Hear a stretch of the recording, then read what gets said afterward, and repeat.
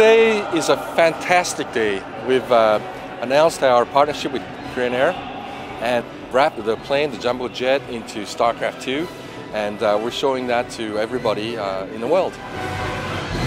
Here's StarCraft 2 on the side of a Korean airline that's going to be flying out of Korea to many different parts of the world and demonstrate and show the relationship that we've had with Korea that started back with StarCraft. We hope is going to go forward into StarCraft 2. It's just super exciting. It's just amazing sort of exclamation point on on the end of all of it.